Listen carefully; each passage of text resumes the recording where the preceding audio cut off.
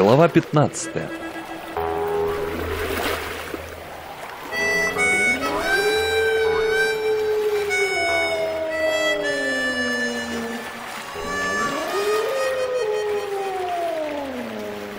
Если бы пассатный ветер не прекратился на следующий день после того, как Мэри Тернер взяла курс к Маркизовым островам, если бы капитан Доун за обедом не стал бы снова ворчать на то, что его снабдили одним единственным хронометром, если бы это обстоятельство не привело в бешенство Симона Нишиканду, и он не вышел бы на палубу со своим ружьем, чтобы убить какого-нибудь морского обитателя, и если бы этот морской обитатель вынырнувший из воды рядом с бортом шхуны, был бы макрелью, обычным дельфином, морской свиньей, тунцом или кем-нибудь еще, а не громадной, длинной в 80 футов самкой кита со своим детенышем, если бы хоть одного звена не доставало в этой цепочке событий, то Мэри Тернер, несомненно, достигла бы Маркизовых островов и, пополнив свой запас пресной воды, вернулась бы к прерванным поискам сокровищ.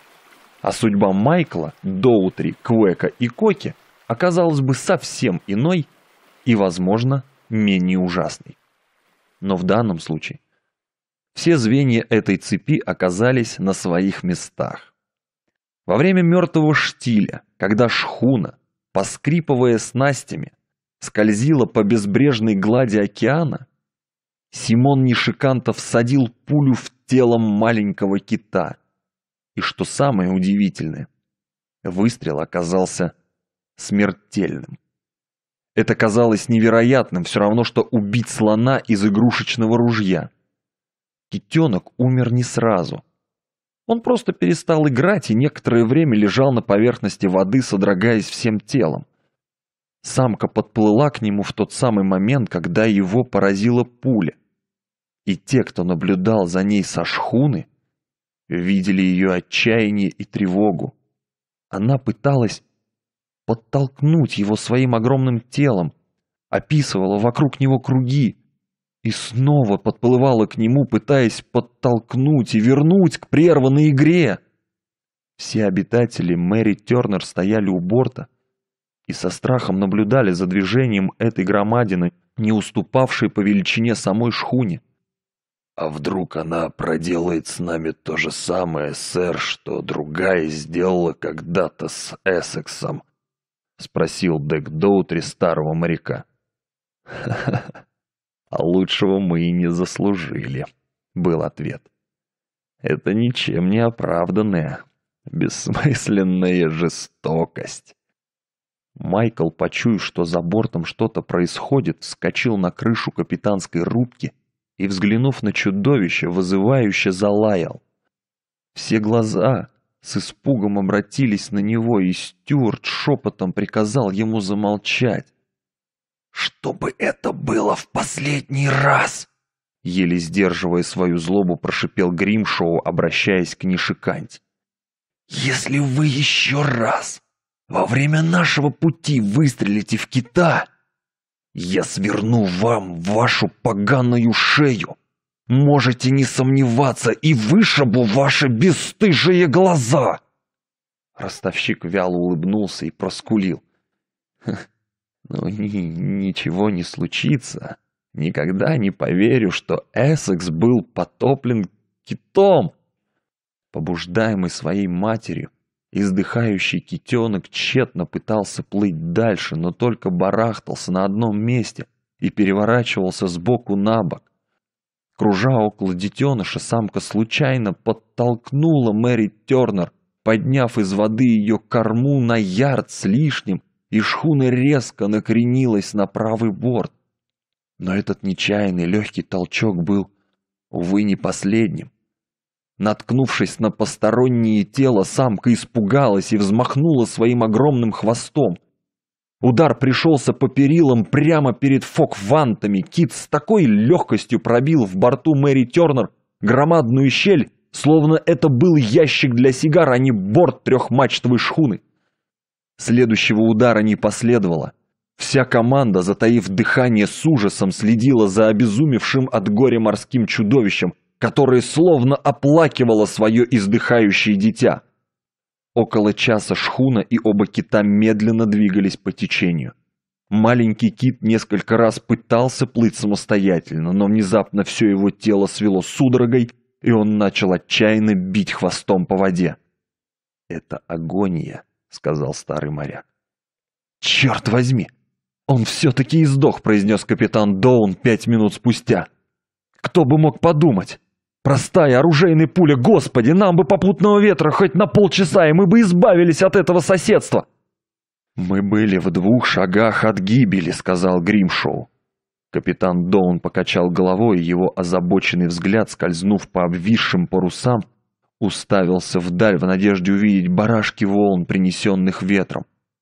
Но поверхность океана оставалась гладкой, как это всегда бывает во время штиля, округлой и немного выпуклой, словно огромная капля разлитой ртути. «Все в порядке», — ободрил его Гримшо. «Видите, ей не до нас». «Ну, конечно, все в порядке». «Да и раньше все шло хоть куда», — бахвалился Нишиканта, вытирая пот, струившихся по его лицу и шее, и вместе с остальными посмотрел вслед уплывающему киту. «Ну вы и храбрецы, нечего сказать.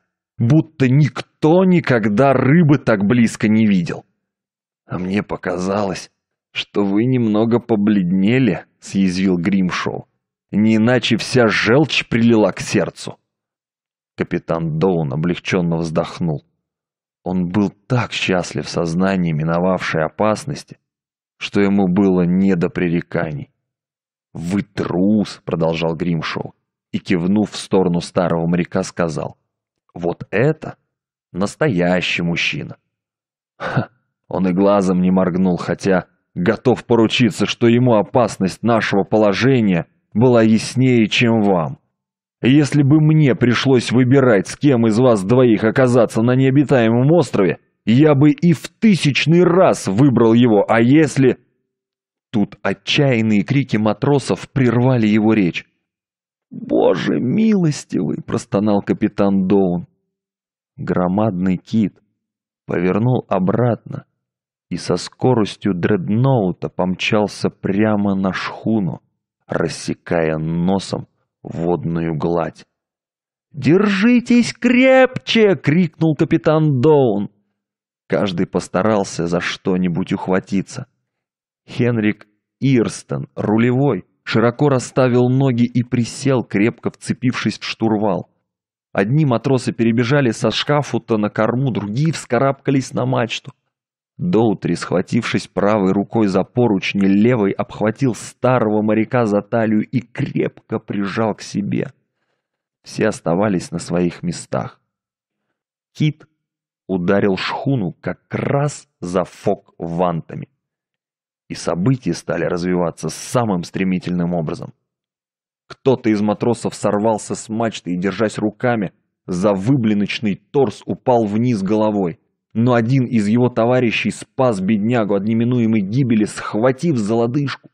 Шхуна в этот момент задрожала, затрещала и так накренилась на правый борт, что вода хлынула прямо на палубу. Майкл, стоявший на гладкой крыше капитанской рубки, соскользнул с нее и покатился вдоль правого борта, цепляясь когтями за его обшивку и громко лая по пути. С левой стороны фок-мачты сорвало ванты, и форстеньга, как пьяная, склонилась к правому борту. «Вот это удар, черт возьми!» – произнес старый моряк. «Мистер Джексон!» – приказал капитан Доун своему помощнику. «Проверьте-ка уровень воды в трюме!» Помощник повиновался, но продолжал обеспокоенно смотреть вслед киту, удалявшемуся в восточном направлении. «Видите? Видите, до чего вы доигрались?» – прохрипел Гримшоу Нишиканте. Нишиканте кивнул и, вытирая со лба пот, пробормотал. «Я я вполне удовлетворен, я добился своего. Я не верил, что киты на это способны. Больше такое не повторится. Возможно, что вам больше и не придется этого повторить, отрезал капитан. Мы дешево не отделаемся. Кит, потопивший Эссекс, нападал на него раз за разом, а природа китов, как мне кажется, не успела измениться за последние несколько лет. «В трюме нет воды!» – доложил штурман. «Он возвращается!» – крикнул Доутри. Отплыв на полмили от шхуны, кит круто повернул и помчался обратно. «Эй, там, на носу, поберегись!» — крикнул капитан Доун матросу, который только что вынырнул из люка с вещевым мешком в руках. Над его головой качался, готовый вот-вот рухнуть форстеньга. «Он уже собрался удирать!» — прошептал Доутри на ухо старому моряку, как крыса с тонущего корабля. «Все мы крысы!» — был ответ. «Я убедился в этом, когда жил в работном доме среди таких же паршивых крыс!» Общее возбуждение экипажа захватило и Майкла. В то время, когда все люди старались крепко ухватиться за что-нибудь, дабы удержаться при неминуемом толчке, Майкл снова взобрался на крышу капитанской рубки, чтобы увидеть все происходящее на море, и зарычал на приближающееся чудовище. Удар пришелся как раз за бизань вантами. Судно накренилось на правый борт, и Майкл позорно слетел со своего наблюдательного пункта. Затем раздался громкий треск шпангоутов.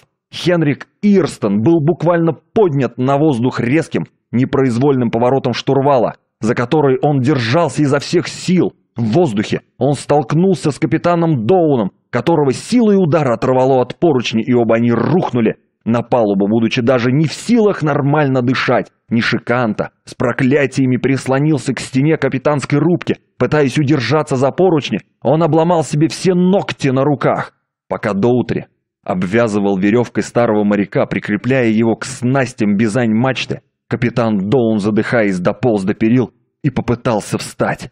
«Киту! Киту это, видно, понравилось!» — хрипло прошептал он обращаясь к штурману и прижимая руку к ушибленному боку, чтобы унять боль. «Посмотрите, что делается в трюме! И продолжайте замеры!» Несколько матросов воспользовались перерывом между ударами и, проскользнув под готовой, сорваться форстеньга, нырнули в кубрик и стали быстро-быстро собирать свои вещи. Когда из передней рубки со своим туго набитым вещевым мешком появился Амой, Доутри велел Квеку идти укладывать и их пожитки. «В трюме воды нет, сэр», — доложил помощник. «Продолжайте свои наблюдения, Джексон», — приказал капитан. Он уже начал приходить в себя от удара, полученного при столкновении с рулевым, и его голос звучал отчетливо. «Продолжайте наблюдать. Кит возвращается, а наша шхуна совсем не рассчитана на подобные переделки».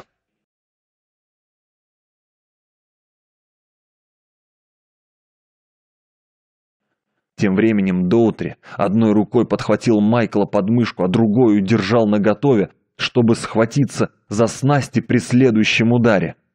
Разворачиваясь, Кит потерял направление и проплыл на расстоянии 20 футов от кормы Мэри Тернер. Несмотря на это, волны, вызванные его стремительным броском, так сильно подняли корму, что нос шхуны окунулся в воду, словно отдавая придворный поклон. «Да!» «А если бы он ударил?» – прошептал капитан Доун и смолк. «Нам бы мало не показалось», – закончил Доутри. «Он начисто срезал бы нам корму, сэр!» Отплыв на этот раз не более чем на 200 ярдов, Кит, не описав и полкруга, резко развернулся назад и предпринял очередную атаку. Новый удар пришелся в носовую часть шхуны по правому борту. Спиной Кит задел форштевень и, казалось, едва задел Мартин Штанг, но корма Мэри Тернер все же осела и погрузилась в воду. И это еще не все. Мартин Штанг, Ватерштанг и все штанги правого борта, вплоть до бушприта, разлетелись в разные стороны так, что бушприт отлетел под прямым углом влево и увлек за собой остальные стень штанги. Стеньга некоторое время раскачивалась в воздухе, а затем рухнула на палубу. Бушприт окунулся в воду, отделился от форштевня и поплыл рядом со шхуной. «Угомоните собаку!» — свирепо заорал Нишиканто Доутри. «Если вы не...» Майкл на руках у Доутри грозно рычал. Не столько на кита, сколько на все враждебные силы, посеявшие панику среди двуногих богов его плавучего мира. «И не подумаю», — огрызнулся Доутри. «Пусть себе лает, сколько вздумается. Вы заварили эту кашу, ростовщик поганый. Только попробуйте поднять руку на мою собаку. Тогда уж точно не увидите, чем все это закончится». «Ха-ха-ха, вы совершенно, совершенно правы, да-да, совершенно правы», — одобрительно закивал старый моряк. Не могли бы вы, Стюарт, достать какой-нибудь кусок парусины, одеяла или что-нибудь пошире и помягче этой веревки? Она впивается мне прямо в то место, где у меня когда-то были ребра». Доутри сунул Майкла старику в руки. «Подержите его, сэр», — сказал он. «А если этот ростовщик только двинется в сторону Киллини, плюньте ему в лицо или укусите. Я мигом обернусь, раньше, чем он успеет вас тронуть, раньше, чем вернется Кит. Пусть Килли лает, сколько ему вздумается. Один волосок из его шкуры ценнее своры таких гадин-ростовщиков. Доутри ринулся в общую каюту и вернулся с подушкой и тремя простынями. Связав их морским узлом, он сделал из подушки нечто вроде сиденья, усадил на него старого моряка и снова взял Майкла на руки. «Вода в трюме, сэр!» — донес помощник. «Шесть дюймов! Нет, уже семь дюймов, сэр!» Матросы, перепрыгивая через рухнувшую форстеньгу, помчались в кубрик собирать свои вещи. «Джексон, шлюпку правого борта приготовить к спуску!» — приказал капитан, пристально глядя на облака морской пены, которые оставляла за собой самка кита. Было совершенно очевидно, что она готовится к новому нападению. «Шлюпку пока не спускать! Пусть повисит на талях! А то эта проклятая рыба разнесет ее в щепки. Держите ее наготове, а люди пусть собирают вещи и грузят на нее съестные припасы и пресную воду. Шлюпка была готова как раз к возвращению кита. Люди едва успели схватиться за то, что попалось им под руку. На этот раз кит ударил Мэри Тернер посредине левого борта. С кормы можно было увидеть и даже услышать, как левый борт затрещал, прогнулся и выпрямился снова, словно был сделан из фанеры. Шхуна качнулась вправо, и весь ее правый борт оказался под водой. Когда она вернулась в прежнее положение, вода хлынула на палубу, заливая колени матросов, стоявших у шлюпки, а затем через желоба левого борта вылилась обратно в море. «Спустите шлюпку!» — приказал с кормы капитан Доун. «Подобрать талии! Поднимайте ее! Держите концы! Живее!» Шлюпку спустили за борт, и она повисла на талях, опираясь на планширь Мэри Тернер. «Воды уже десять дюймов, сэр, и она быстро прибывает», — доложил помощник. «Пойду схожу за приборами», — заявил капитан Доу, направляясь к себе в каюту. Уже наполовину исчезнув в люке, он остановился и, обращаясь к Нишиканте, насмешливо прибавил. «И за своим единственным хронометром». «Полтора фута и прибывает!» — крикнул ему вслед помощник. «Нам бы тоже не мешало упаковать вещи», — сказал Грим Шоу Нишиканти и последовал за капитаном. «Стюарт!» — приказал Нишиканта. «Спуститесь вниз и уложите мою постель, об остальном я сам позабочусь». «Мистер Нишиканта, вы можете катиться к черту вместе с вашими пожитками», — спокойно ответил Доутри и также спокойно, но почтительно обратился к старому моряку. Подержите Киллини, сэр, я позабочусь обо всем. Есть ли у вас вещи, которыми вы особенно дорожите?» Джексон спустился вниз и присоединился к тем, кто торопливо упаковывал наиболее ценные и полезные вещи из своего имущества. В это время Мэри Тернер получила очередной удар. Застигнутые врасплох, они были отброшены влево, а из каюты Симона Нишиканты послышались жалобные проклятия. При падении он налетел боком на край койки, но невероятный треск и грохот на палубе заглушили все. Груда щепок. «Вот и все, что останется от шхуны», — произнес капитан Доун в наступившей тишине. Осторожно выползая из каюты, он крепко прижимал к груди свой хронометр. Передав его на хранение одному из матросов, капитан Доун вернулся к себе в каюту и с помощью Доутри вытащил наверх свой чемодан, а затем помог Стюарту поднять наверх чемодан старого моряка. Потом с помощью растерянных матросов они проникли через люк в кладовую и начали выбрасывать оттуда провиант. Ящики с рыбными и мясными консервами, вареньем и галетами, с маслом и сгущенным молоком, словом, все возможные запаянные, высушенные, консервированные и заготовленные впрок продукты, которыми в наше время обычно снабжают корабли. Доутри и капитан Доун последними выбрались из кладовой и одновременно взглянули туда, где за несколько минут до этого возвышался грот и Бизань Стенги. Затем они посмотрели на палубу, загроможденную обломками мачт. Бизань Стеньга рухнула, порвав контр-бизань, и, поддерживаемая вертикально лишь крепкой парусиной, скрипя, раскачивалась в воздухе. А грот Стеньга рухнула прямо на лестницу, соединяющую палубы. Пока обезумевшая от горя и жажды мести самка кита отплывала на расстояние, необходимое для новой атаки, весь экипаж Мэри Тернер собрался около висевшей за правым бортом шлюпки, уже готовой для спуска на воду. Палуба была основательно загромождена всевозможными ящиками, бочонками с пресной водой и сундуками, в которых лежали личные вещи. При одном взгляде на нее и на снующих по ней взад и вперед людей становилось ясно, что шлюпка будет катастрофически перегружена. «Нам нужны матросы. Они, по крайней мере, смогут грести», — сказал Симон Нишиканд. «Ну а вы-то нам на что?» — мрачно спросил Гримшоу. Ваша особа занимает слишком много места. И кроме того, вы большая скотина. Полагаю, что я буду весьма желанным пассажиром, заметил ростовщик и стремительно расстегнув рубашку, так что отлетели четыре пуговицы, продемонстрировал кольт 44-го калибра, кобура которого была привязана под мышкой его левой руки, прямо на голом теле, так что правая рука смогла сразу же вытащить его в надлежавший момент. Полагаю, что я буду весьма желанным пассажиром, а от нежелательных мы всегда сможем избавиться. Как вам будет угодно, насмешливо согласился фермер, но его громадные руки невольно сжались, словно душили кого-то. Кроме того, если нам туго придется с провиантом, вы будете нам весьма желанны. В количественном отношении, конечно, а не в каком-либо другом. Но а кого же вы считаете нежеланным? Негра? У него ведь нет оружия. Но этот обмен любезностями был прерван новой атакой кита.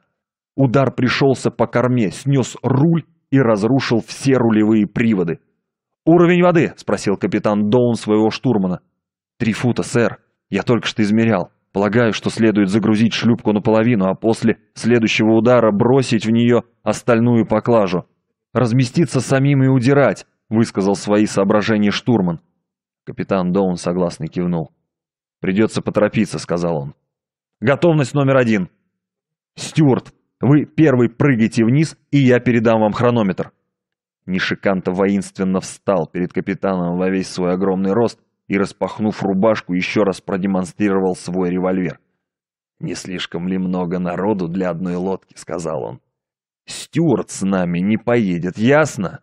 И зарубите себе это на носу! Стюарт — один из тех, кому придется остаться!» Капитан Доун хладнокровно посмотрел на револьвер, но в его сознании вдруг вспыхнуло видение. Доходные дома в Сан-Франциско, и он пожал плечами. «Наша шлюпка все равно будет перегружено всем этим хламом. Делайте, что хотите, но запомните раз и навсегда, что капитан — я. И если вы хотите еще раз увидеть свои судные кассы, то рекомендую вам меня поберечь. «Стюарт!» Доутри подошел вплотную. «К сожалению, ни для вас, ни для кого-нибудь еще здесь не хватит места». «И слава богу», — сказал Доутри. Я как раз боялся, сэр, что вы потребуете от меня ехать с вами. Квек, тащить мои вещи на другой шлюпка. Квек повиновался. Пока он переносил вещи, штурман в последний раз измерил уровень воды в трюме, который достиг уже трех с половиной футов. А матросы загрузили в шлюпку остальную, более легкую поклажу.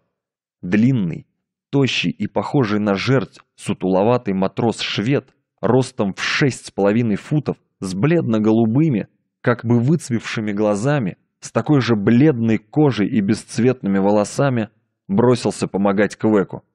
«Эй, долговязый Джон!» — окликнул его штурман. «Идите сюда, вот ваша лодка!» Швед смущенно улыбнулся и, запинаясь, объяснил. «Я... я хотел скоком». «Прекрасно! Пусть отправляется куда хочет. Чем меньше народу, тем лучше», — вмешался Нишиканта. «Что-нибудь еще?» «Конечно», — усмехнулся Доутри ему в лицо. В нашу лодку будет погружено все оставшееся пиво.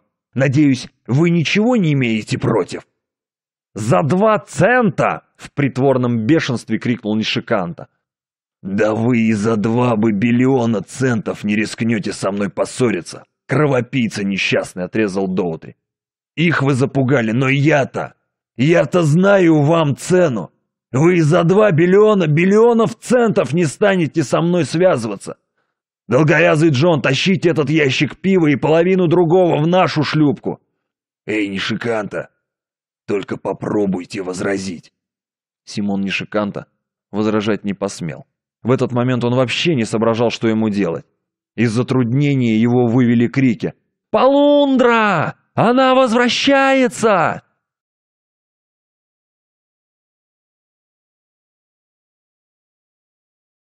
Все снова вцепились в то, что попалось под руку. На этот раз самка кита разнесла на куски несколько шпангоутов, и Мэри Тернер беспомощно закачалась на волнах.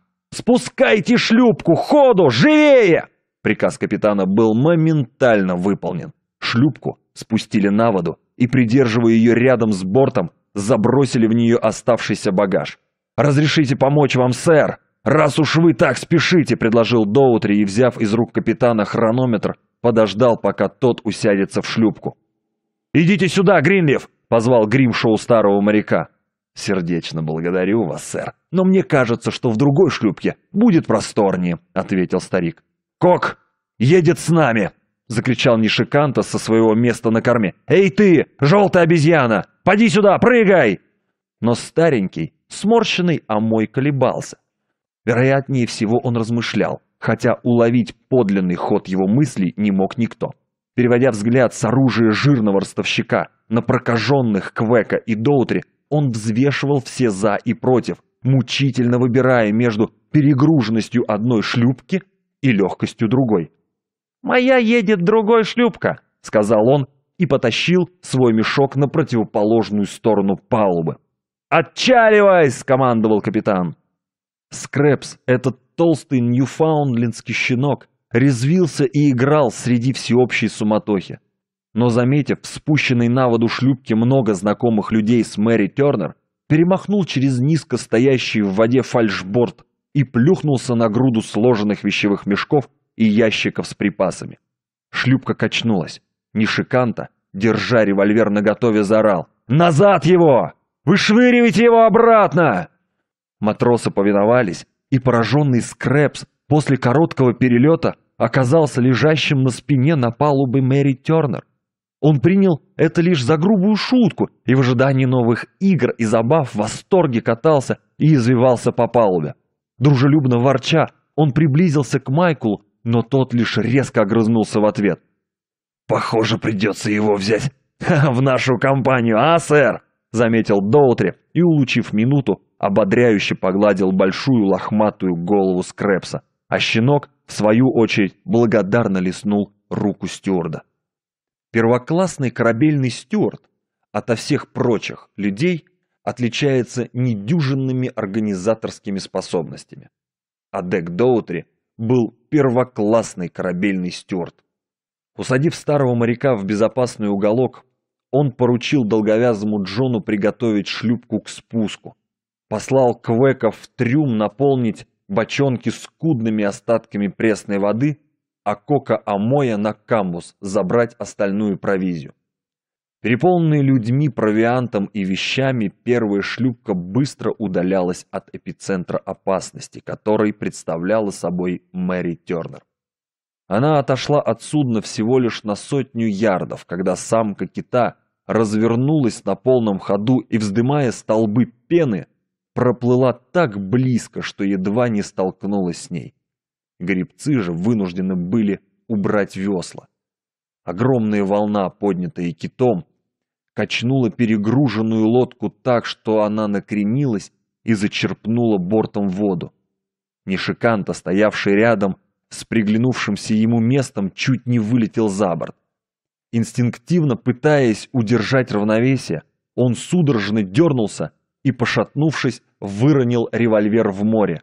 «Ха-ха-ха!» — засмеялся Доутри. «Пропал Нишиканта! Теперь вам его нечего бояться. Он вам еще пригодится на обед. Неважное, правда, кушанье. Съешьте его первым, когда начнете голодать. Конечно, он вонючка, и мясо его будет дурно пахнуть, но немало порядочных людей ели скунсов вонючек и ничего выживали. Придется вам все-таки поддержать его ночку в соленой воде. Гримшоу занимавший не слишком удобное место, сразу же, как и Доутри, оценил положение дел и, быстро поднявшись, схватил жирного ростовщика за шиворот, совсем нелюбезно приподнял его и швырнул вниз лицом на дно шлюпки. «Ха-ха!» — послышалось им вдогонку смех Доутри. Гримшоу не спеша, удобно, уселся на освободившееся место. «Хотите с нами?» — крикнул он Доутри. «Нет, благодарю вас, сэр. Нас много. Мы лучше отправимся на другой». Грибцы налегли на весла, остальные принялись вычерпывать воду, и шлюпка стала быстро удаляться. Тем временем Доутри с Амоем проникли в кладовую, чтобы забрать оттуда остатки провизии. Они все еще возились там, когда кит ударил шхуну посреди левого борта, и взмахом своего мощного хвоста начисто снес путинцы и планшир у Бизань-мачты. Еще одна волна качнула шхуну, и Бизань-мачта рухнула. «Вот так кит! Черт побери!» Увидев последнее разрушение, воскликнул Доутри, когда они, Амоем, выбрались на палубу. Амой решил еще раз сбегать на кухню за оставшимися продуктами, а Доутри – Квек и долговязый Джон дружно навалились на Тали, приподняли шлюпку и приготовили ее к спуску. «Подождем следующего удара, тогда спустим ее на воду, погрузимся в нее и двинемся подальше отсюда», сказал Стюарт старому моряку. «У нас еще есть масса времени. Шхуна не будет погружаться в воду скорее, чем сейчас». Но палуба уже сравнялась с уровнем океана, а шхуна медленно, но верно погружалась в его пучину. «Эй!» — крикнул опомнившийся Доутри вслед удалявшейся шлюпки капитана Доуна. «Как дойти до Маркизовых островов? Далеко ли до них, сэр?» «Севера, северо-восток и четверть румба к востоку», — донесся слабый ответ. «Курс на Нука-Хиву. Около двухсот миль. Держитесь круто к юго-восточному пассату и доберетесь». «Благодарю вас, сэр!» — признательно крикнул Стюарт, а затем побежал на корму, разбил Нактоус и, вынув из него компас, вернулся к себе в шлюпку. Поскольку самка кита новых атак не предпринимала, им показалось, что она уже забыла про шхуну. Пока они выжидали, наблюдая за плавающей в отдалении самкой, Мэри Тернер медленно погружалась в воду. «Пожалуй, самое время рискнуть», — сказал Доутри, посоветовавшись с долговязым Джоном, но вдруг откуда-то снизу раздался жалобный голос. Коки! Коки!» который затем сменился раздраженным и злобным. «Черт побери! Черт побери! Черт побери!» «Господи! Ну, конечно!» — крикнул Доутри и бросился бежать по палубе, пробираясь через снасти рухнувший грот мачты, которые преграждали путь. Белоснежный, живой комочек, нахохлившись, сидел на краю койки и, подняв свой розовый хохолок, проклинал человеческим голосом превратности судьбы непредсказуемость кораблей и безрассудство мореплавателей. Коки прыгнул на протянутый ему доутри указательный палец, по рукаву рубашки быстро взобрался на плечо и так крепко вцепился коготками в легкую ткань, что больно оцарапал кожу стюарда, а затем, прильнув головой к его уху, с благодарностью и облегчением проговорил «Коки! Коки!» «Эх ты, вояка!» – прошептал Доутри. «Слава богу!» — ответил Койке, голосом столь похожим на голос Доутри, что тот даже вздрогнул. «Эх ты, вояка!» — повторил Доутри, прижимаясь ухом к хохлатой головке попугая. «А ведь некоторые думают, что мир создан только для людей». Кит все еще медлил. Вода уже покрыла палубу тонким слоем, когда Доутри отдал приказ загружаться.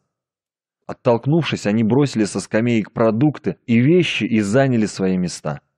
А мой поспешил сесть как можно дальше от Квека и Стюарда на носу. Долговязый Джон рядом с Квеком, а Доутри с Койки на плече по левому борту. Майкл, взгромоздившись на сброшенные в кучу вещи, не сводил глаз с Мэри Тернер и сердито огрызался на глупого скрепса, который пытался затеять очередную игру. Старый моряк стоял на корме у рулевого весла и, когда все уселись, подал знак к отплытию. Вдруг Майкл ощетинился и зарычал, предупреждая их о приближении кита, но кит не атаковал. Он медленно кружил около шхуны, как бы изучая своего противника. «Бьюсь об заклад, что у него башка разболелась от всех этих ударов!» засмеялся Доутри, главным образом для того, чтобы успокоить своих спутников. Едва они несколько раз взмахнули веслами, как восклицание долговязого Джона заставило их взглянуть на бак шхуны, где судовая кошка гонялась за большущей крысой. Там они увидели и других крыс. Очевидно, вода выгнала их наверх. «Нельзя же дать кошке погибнуть!» Как бы про себя предложил Доутри. «Конечно нельзя», — ответил старый моряк, налегая всем телом на рулевое весло и разворачивая шлюпку обратно. Прежде чем они снова взялись за весла, чтобы отчалить от шхуны, самка кита, медленно описывая круги, два раза пересекла им дорогу. На них она не обращала ни малейшего внимания. Ведь именно эта громадина, эта шхуна принесла ее детенышу смерть. Поэтому вся ярость самки и жажда мести были направлены только на шхуну. Они уже отошли на приличное расстояние, когда Китиха стала быстро удаляться, готовясь к новой атаке. Проплыв с полмили, она развернулась и помчалась обратно. «Теперь, когда шхуна наполовину затонула, она ее доконает», — сказал Доутри. «Давайте передохнем и посмотрим». Удар пришелся как раз посередине Мэри Тернер и был намного сильнее всех предыдущих. Обломки фальшборта и штанги взлетели вверх, и шхуну качнуло так, что медь ее обшивки блеснула на солнце. Пока она медленно выпрямлялась, ее грот мачта раскачивалась, как пьяная, но не падала. «Вот это удар!» — воскликнул Доутри, глядя на кита, бесцельно вздымавшего в воду ударами своего гигантского хвоста. «Видно, им обоим досталось!» «Кит прикончить шхуна!» — заметил Квек, когда фальшборты исчезли под водой. Мэри Тернер так быстро погружалась в воду, что через несколько минут не стало видно даже обломков ее грот-мачты. Только Кит беспомощно барахтался на поверхности океана. «Даже похвастаться будет нечем», — произнес Доутри краткий некролог Мэри Тернер. «Никто нам не поверит чтобы такое прекрасное судно смогла утопить, причем утопить самым настоящим образом какая-то старая глупая китиха. Нет, сэр. Тогда в Гонолулу я не поверил этому хрычу Сессекса, который уверял, что его корабль потопил кит, и теперь и мне никто не поверит. Прелестная шхуна, красавица шхуна, оплакивал Мэри Тернер, старый моряк. Никогда я не видел более изящной оснастки трехмачтового судна, и не было еще на свете шхуны, которая так легко и красиво двигалась по ветру. Дек Доутри, старый холостяк, проживший всю свою жизнь свободным человеком, сидел и рассматривал пассажиров своей шлюпки, оказавшихся теперь на его попечении. Квека, чудовищного чернокожего папуаса, спасенного им когда-то от его прожорливых собратьев, Амоя, маленького сморщенного судового кока, о возрасте которого можно было только догадываться, благородного, любимого и глубоко уважаемого им старого моряка, долговязого Джона, юного шведа, великана ростом и младенца умом, своего чудо-пса Киллини Боя, неимоверно глупого и толстого скрепса, белоснежного, маленького Коки, властного, как острие ножа, и обаятельного, как прелестное дитя. И, наконец, судовую кошку, рыжую, гибкую истребительницу крыс, примостившуюся у ног Амоя. И добрых двести миль до Маркизовых островов.